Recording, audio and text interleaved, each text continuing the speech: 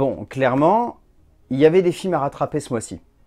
Et j'ai même pas réussi à tous les caler dedans parce que j'ai pas eu le temps d'aller voir ces fameux films. Parce que ce mois-ci, il faut bien avouer que le mois d'août a été hyper chargé en termes de sorties. Et du coup, il y a déjà eu pas mal de vidéos qui sont sorties sur la chaîne, mais ça n'empêche qu'on a quand même le droit à quelques longs métrages à rattraper, donc ne perdons pas plus de temps et passons en revue les quelques films que j'ai loupés durant le mois d'août 2021.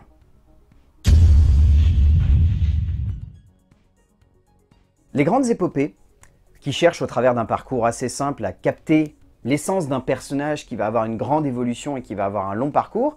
bah, je dois avouer que sur le papier, les trois quarts du temps, ça semble terriblement intéressant. Et ce qu'il y a de fort dans le cinéma, c'est qu'il arrive parfois à totalement nous surprendre au cœur d'une œuvre qui pourrait sonner comme trop dense ou trop éparse pour réussir à nous passionner, mais il faut bien avouer que le projet fou de Arthur Harari est tout simplement enivrant de puissance et de justesse dramatique, le tout pour un moment de cinéma qui marque de manière indélébile l'esprit du spectateur. Tout du long d'un projet ambitieux et pharaonique presque par de nombreux aspects, le metteur en scène français parvient à rendre ce qui n'aurait pu être qu'une immersion plus ou moins subtile dans la jungle des Philippines en une immense fresque sur l'histoire du Japon et sur un homme qui est devenu le symbole d'une époque trouble où la guerre poussait de jeunes gens à devenir les représentants d'une nation déchue et vaincue, et dans cela, le cinéaste français puise une force dramatique et visuelle qui scotche totalement. C'est un gros morceau de cinéma de l'année française et je regrette presque de ne pas avoir eu l'occasion de le chroniquer dans une vidéo complète. Mais quand même, faut vraiment que vous le voyez s'il passe encore pas loin de chez vous.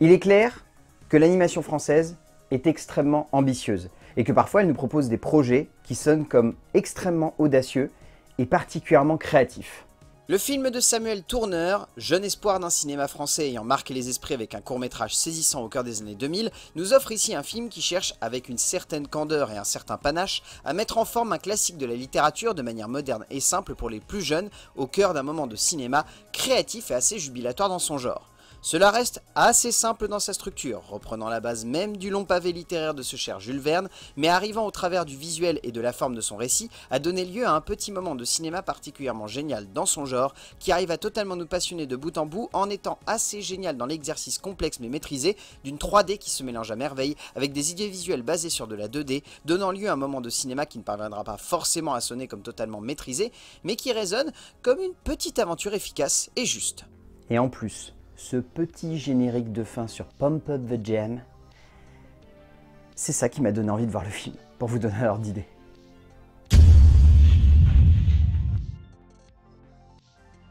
Franchement, depuis quelques années, j'ai pas la moindre idée de ce qui se passe dans la tête de Liam Neeson.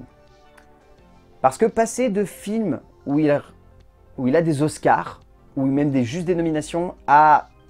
Taken et toute la tripotée de films d'action, bah,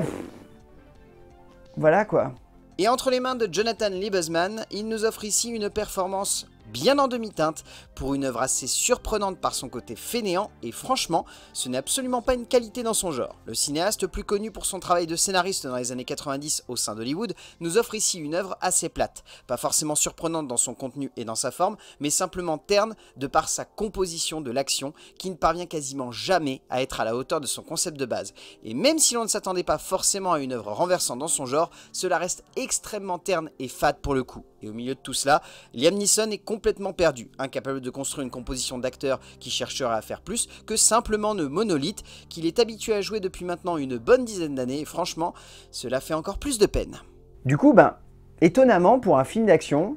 ah ben, j'aurais bien envie de vous pousser à passer votre chemin parce que c'est pas si actionneur que ça, c'est même très plan-plan, et vous l'avez compris, c'est pas du tout prenant en fait.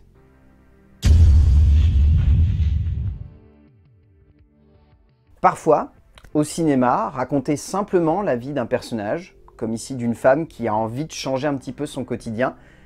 bah ça suffit à donner une œuvre intéressante. Et sur le papier, le projet de Nicole Ruiz Benavides est exactement à cette image. Un beau projet qui prend simplement la forme d'un voyage énigmatique et prenant et qui réussit totalement à nous envoûter de bout en bout comme un moment de cinéma qui se voudrait simplement humain et sincère dans sa démarche et personnellement, je dois avouer que c'est cela qui m'a totalement et magnifiquement passionné au cœur d'un métrage simple mais juste. On pourra toujours avoir la sensation que le projet est par moments un peu trop frêle ou pas assez poussé dans sa forme comme dans son fond, mais on sent que la réalisatrice chilienne a voulu pousser son idée dans la meilleure direction possible en restant le plus simple du monde, pour avant tout se concentrer sur cette idée de portrait et donner lieu à un choc non seulement des générations, mais également des cultures, pour un fragment de cinéma évocateur, juste comme il faut, et avec juste ce qu'il était nécessaire d'ajouter de pudeur. C'est simple, c'est beau, c'est touchant, et surtout c'est bon de le rappeler, Rose Ramirez Rios en tête d'affiche est juste magnifique.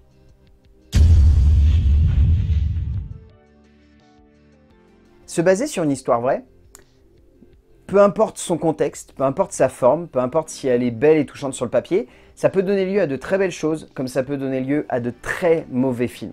Euroslyn décide de nous emporter dans l'aventure assez folle de Janet et Rêve, son poulain, pour un moment de cinéma qui se veut très classique dans sa composition et sa construction, mais qui possède, à l'image des grands feel-good movies, une vibe qui se tient de bout en bout de métrage, pour une œuvre qui ne parviendra pas à sonner comme un morceau de 7ème art novateur, mais dans son genre, celui-ci se tient. Au fond, si l'on peut facilement avoir des soucis avec la base de la narration du métrage, il est également évident que le metteur en scène britannique sait exactement comment développer, construire, juxtaposer correctement l'évolution de ses personnages, leur avancer au cœur de cette aventure assez folle, mais surtout, sait comment jouer avec nos attentes de spectateurs pour donner lieu à un moment de cinéma émouvant, simple, efficace dans son genre, et qui se tient presque uniquement par le parcours hors norme de ses apprentis éleveurs de chevaux et de leurs poulains. En plus de ça, c'est bien de le rappeler, mais Tony Collette est juste extraordinaire et pour moi, elle fait fastoche 50% de l'immersion qu'on a dans le long métrage, tellement sa performance est juste géniale.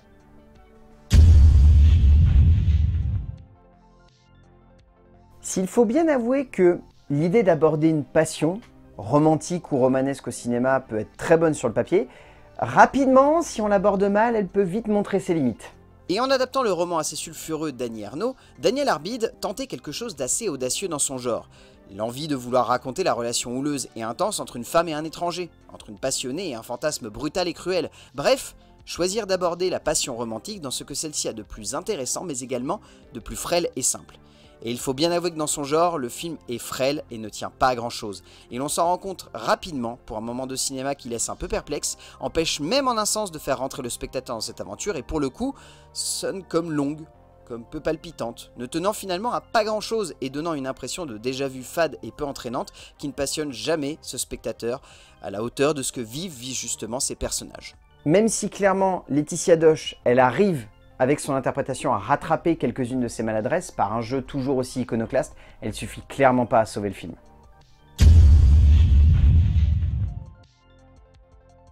Se mettre à hauteur d'enfant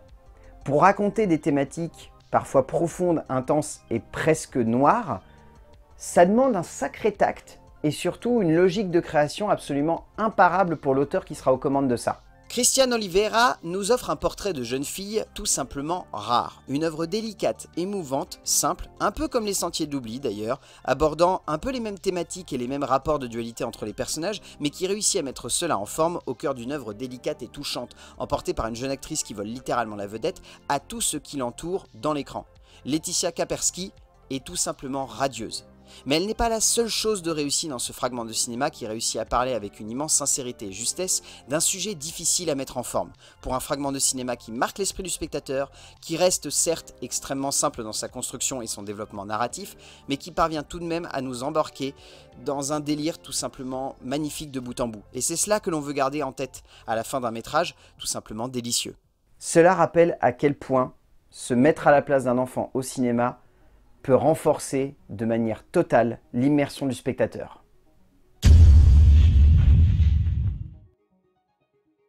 Des fois, il y a des phénomènes culturels qui m'échappent complètement. Du coup, ma conscience professionnelle fait parfois le premier pas et me pousse à aller voir des films pour essayer justement de comprendre à quel point des œuvres peuvent avoir un vrai impact sur un jeune public par exemple. Du coup, lorsque j'ai su qu'il y avait une adaptation filmique de la célèbre série animée canadienne La Patte Patrouille, je me suis dit qu'il fallait que j'aille voir le long métrage mis en scène par Karl Brunker, et franchement, si sur le papier j'y allais un peu à reculons, je dois avouer avoir été agréablement surpris par une œuvre cherchant simplement à viser avant tout un public jeune, mais qui m'a tout de même plutôt convaincu et passionné. Si l'ensemble reste très limité et vraiment très simpliste en termes d'histoire, de narration et de dramaturgie, il y a quelque chose dans ce long métrage que je trouve assez touchant, divertissant, entraînant, amusant et fun à regarder, et qui a fait que même si je voyais une œuvre beaucoup trop classique dans sa forme et son fond se mettre en place devant moi, j'étais tout de même dedans et j'ai apprécié le moment, comme un plaisir régressif de spectateur qui fait un bien fou, mais que l'on oublie tout de même assez rapidement après la séance, hein, soyons sincères. Cela reste un pur plaisir pour les enfants. Mais si on est un grand enfant comme moi, on va pas bouder son plaisir non plus.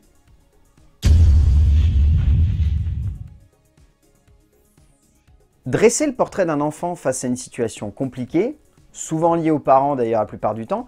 euh, je dois avouer que c'est un super projet, mais qu'il faut absolument que l'auteur aux commandes, encore une fois, comme sur d'autres films cités avant,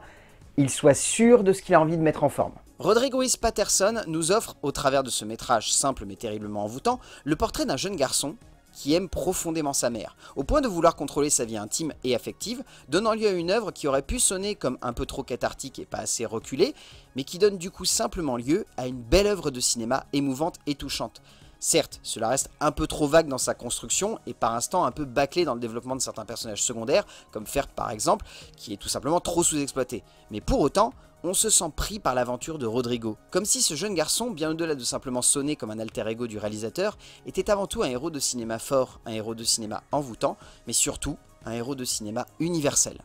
De plus, cela se ressent également par l'interprétation absolument dingue d'Adrian Rossi, qui emporte tout le film dans le personnage de Rodrigo. Vraiment, il est juste fou. Bon, ben voilà, encore une fois, il y avait pas mal de films à rattraper durant ce mois d'août. Euh, je sais, j'en ai loupé aussi. J'espère pouvoir les rattraper dans le rattrapage de septembre. C'est pas sûr, mais j'essaierai de les mêler à ça. Mais d'ici là, comme d'habitude, n'oubliez pas ce que je vous dis à chaque fois à la fin de ces vidéos. Ce n'est pas parce que l'on ne parle pas de ces films qu'ils sont forcément mauvais.